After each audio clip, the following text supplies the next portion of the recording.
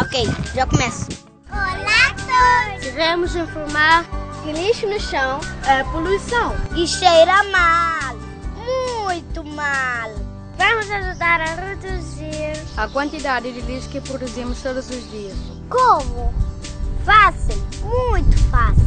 Basta que na hora da separação do lixo tem alguns cuidados básicos como embalar bem o lixo em sacos de plástico e verificar se estão bem fechados.